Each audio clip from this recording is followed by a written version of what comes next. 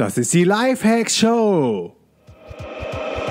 Willkommen zur Lifehacks Show. Lifehacks gibt dir selbst erprobte Hacks und Tipps für dein bestes Ich. Und hier ist ein Crash-Test-Dummy für ein besseres Leben. Markus Meurer. Hey Leute, willkommen zu einer neuen Folge der Lifehacks Show. Diesmal mit einem Quickie zum Thema, warum es total nervt, als digitaler Nomade unterwegs zu sein. Ich habe dazu einen Artikel auf dem äh, deutschen Tech-Magazin T3N geschrieben und gedacht, das ist äh, Content, der euch auch interessieren wird. Und es ist nämlich nicht immer so cool und so geil, wie alle immer schreiben über den digitalen Nomaden-Lifestyle. Ich habe äh, dazu letztens auch einen Rant auf Medium geschrieben, dass äh, wir uns oft in der Bubble bewegen. Aber was mich, was mich sonst noch so total nervt, wenn du unterwegs bist, sind Sachen wie, dass deine Kreditkarte eingezogen wird. Also das Ganze ist äh, uns auf Belize in Kikorka passiert. Äh, aus Sicherheitsgründen äh, wurde da die Kreditkarte eingezogen und ich hatte glücklicherweise noch eine zweite dabei, ähm, die Kreditkarte von der Comdirect. Ich nehme ja immer die von der DKB, aber sowas kann halt passieren und ähm, genau das ist jetzt auch wieder passiert hier in Brasilien. Ich weiß nicht, ob ihr davon gehört habt, aber vielleicht äh, lest ihr dazu noch. Es gab wohl einen riesen ähm, Hack auf Kreditkarten vom Mastercard und Visa und ich war bei beiden Zahlenkolonnen quasi betroffen getroffen und jetzt haben sie mir sowohl die Mastercard vom Unternehmen gesperrt, als auch meine Visa-Karte von Comdirect. Und das heißt, die Karte, die wird jetzt nach äh, Berlin geschickt, von Dropscan dann äh, quasi eingescannt. Von äh, dem Scanzentrum muss ich sie jetzt an irgendeinen Kumpel oder an eine gute Freundin, an Claudi schicken in Berlin, die glücklicherweise jetzt auch nach Asien fliegt, mir die Kreditkarte mitbringt, um so dann an den Sicherheitscode zu kommen, der auf der Rückseite steht, weil ähm, Dropscan scannt immer nur die Vorderseite. Äh, ist also alles nicht so ganz easy und die Karte selber will ich ja auch nutzen. Deshalb bin ich heilfroh, dass äh, Claudi die Karte mit nach Asien bringt. Also das kann nerven.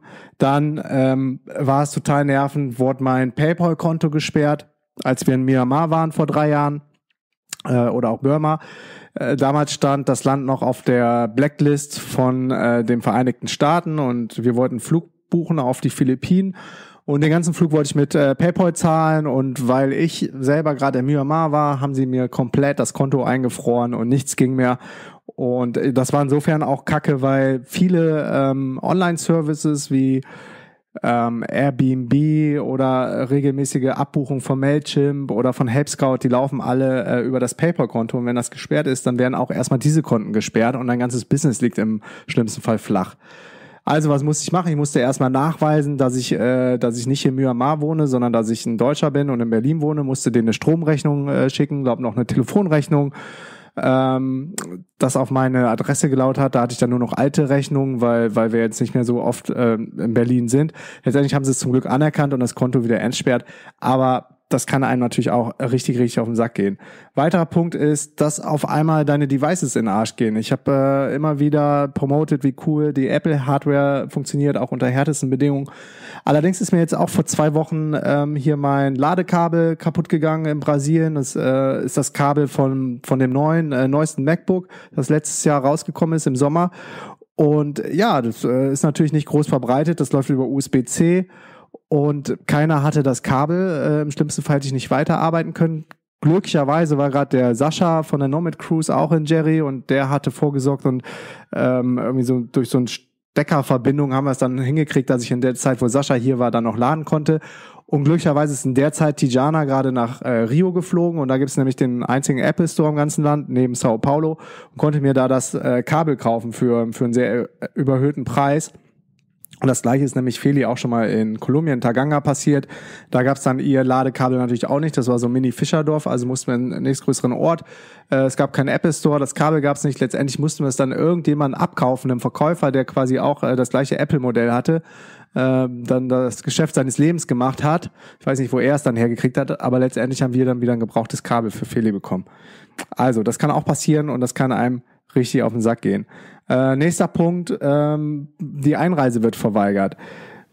Äh, oft weiß man als digitaler Nomade nicht, wo man als nächstes hinfliegt und bucht sich äh, sowieso nur One-Way-Tickets. Und beispielsweise auf den Philippinen ist so, wenn du da ankommst, musst du auch nachweisen, wo du als nächstes hinfliegst. Also war das auch immer ein Riesenproblem. Äh, man konnte auf gut Glück dann irgendwie quasi weiter vorplanen, aber man war halt nicht mehr so flexibel. Das ist äh, auch total nervend gewesen. Glücklicherweise gibt es mittlerweile eine Lösung, äh, die verlinke ich auch in den Shownotes. Die heißt ähm, flyonward.com, die Seite.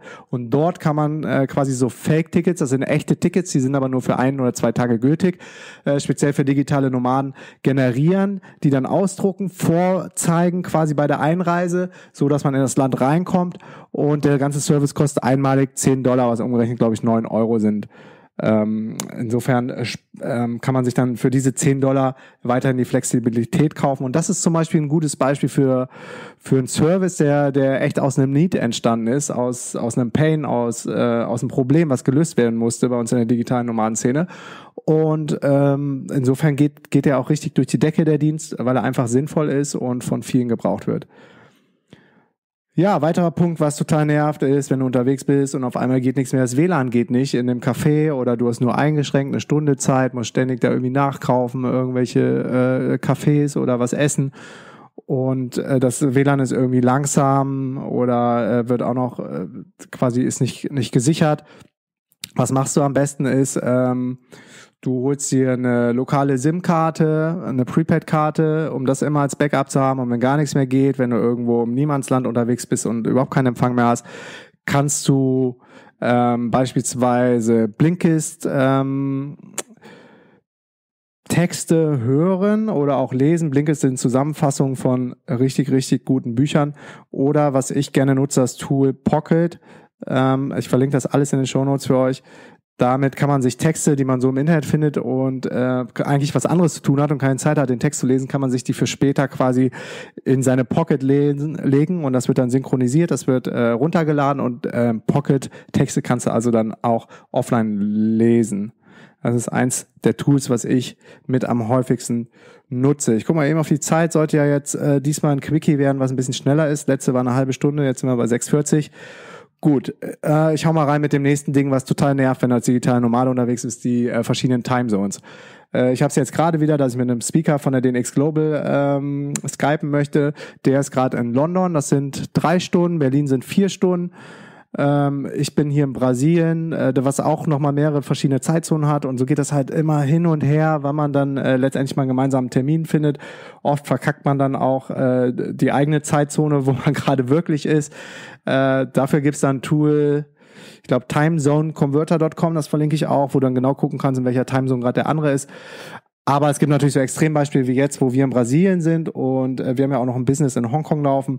Ich manchmal mit der Hang Seng Bank in Hongkong äh, skypen oder telefonieren muss. Telefonieren mache ich meistens über Viber.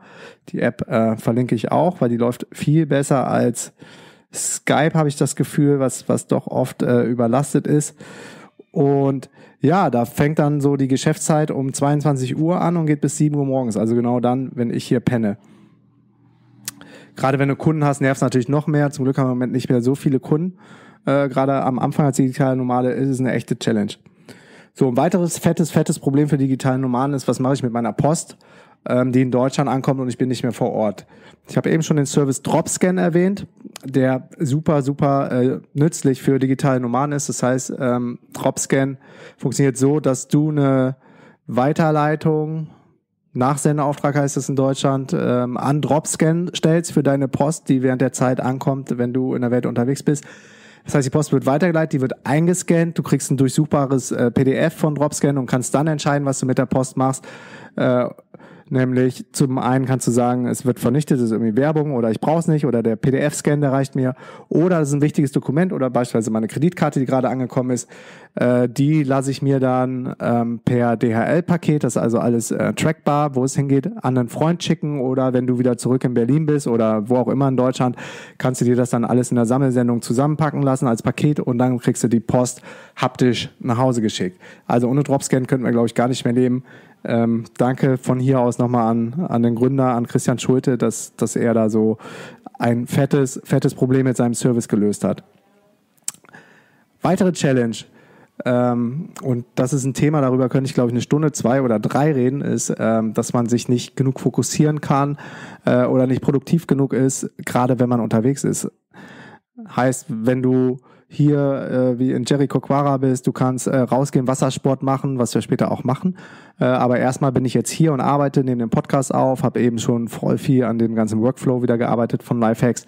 Äh, war also den ganzen Tag schon beschäftigt. Aber man könnte theoretisch auch den ganzen Tag aufs Wasser gehen, man könnte Stand-Up-Paddling machen, man könnte surfen, man könnte äh, kiten. Jetzt ist gerade kein Wind mehr, aber davor war halt äh, richtig viel Wind.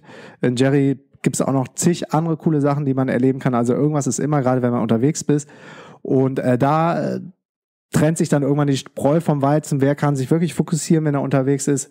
Und ähm, wer kann das nicht? Aber ist auf jeden Fall eine große Herausforderung. Was mir hilft, ist ähm, Routinen aufzubauen. Dazu mache ich aber noch mal ein eigenes Quickie, ähm, um so seinen Tag zu strukturieren, um so in den richtigen Flow zu kommen. Ähm, ein Tool, was dabei hilft, ist Coach Me, wo du, wo du ähm, verschiedene Habits und Routinen aufsetzen kannst. Und ein anderes nützliches Tool, was äh, ich auch gerne nutze, um die ganzen ähm, Zeitfresser wie Facebook oder Social Media Seiten zu, zu killen, ist Self-Control. Durch Self-Control hast du gar keine Chance mehr in Facebook reinzukommen.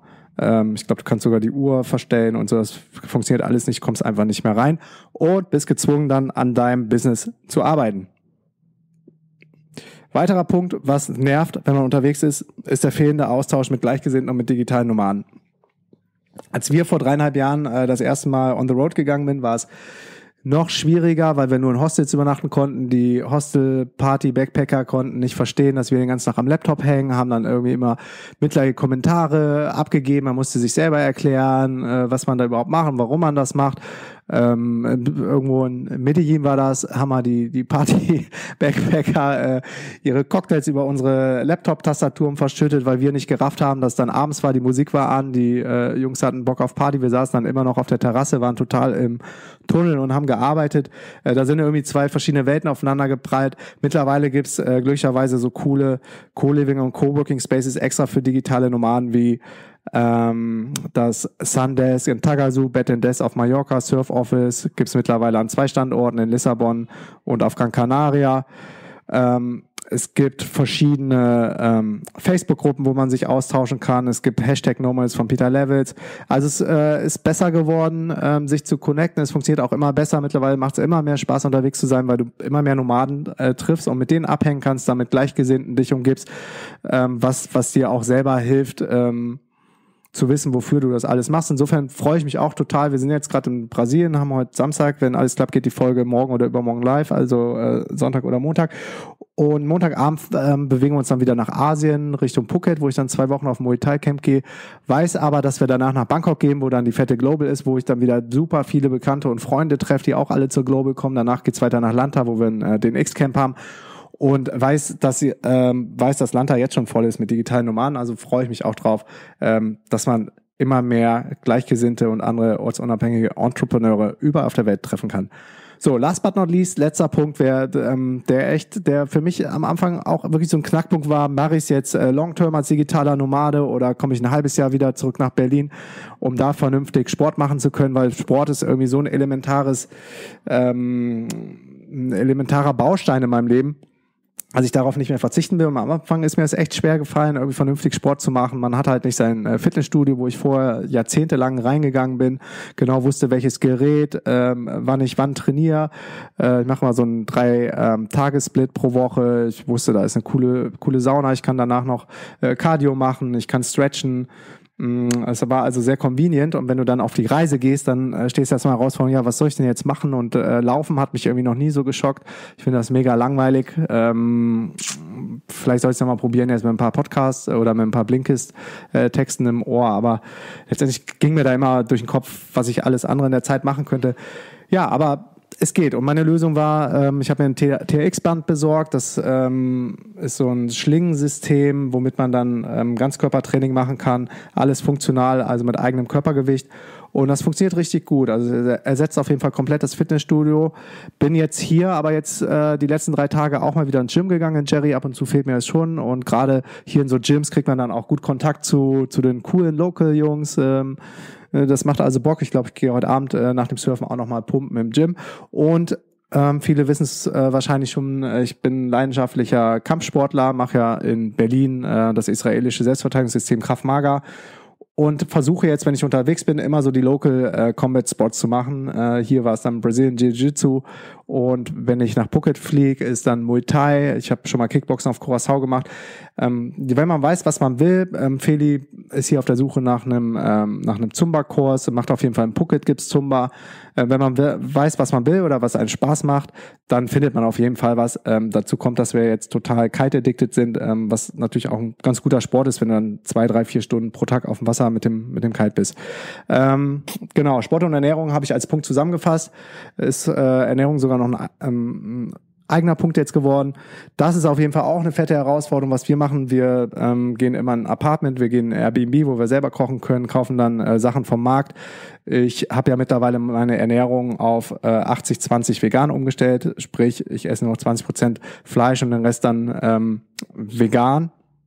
Und die äh, 20 Prozent sind dann auch andere tierische Produkte. Ähm, dazu mache ich, glaube ich, auch nochmal einen eigenen ähm, Quickie. Es wird natürlich nicht leicht, gerade in Ländern wie, sag ich mal, Mexiko, wo gerne viel frittiert gekocht wird und sehr ungesund gegessen wird. Hier in Brasilien ist auch nicht ganz easy. Früher war es noch ähm, schwieriger, als ich noch mehr Fleisch gegessen habe. Äh, jetzt wird es leichter.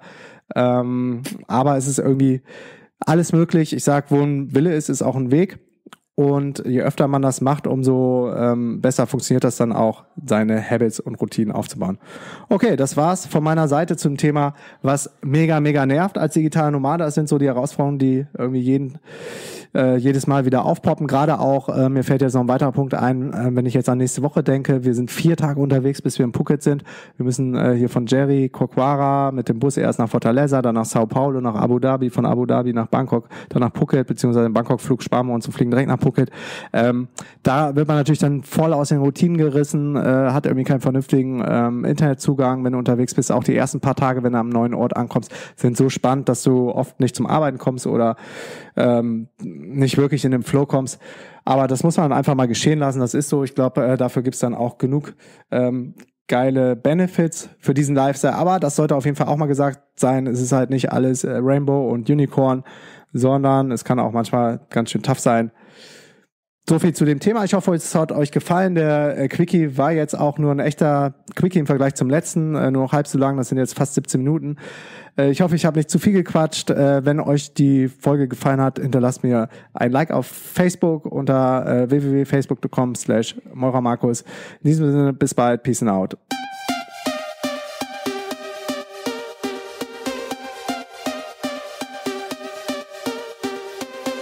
Yo Leute, das war eine neue Folge der Lifehacks Show. Wenn euch die Show gefällt, hinterlasst mir bitte eine Rezension auf iTunes und liked meine Facebook-Seite unter facebook.com slash Moira Markus. Vielen Dank für euren Support und viel Spaß bei allem, was ihr gerade noch macht. Peace and out.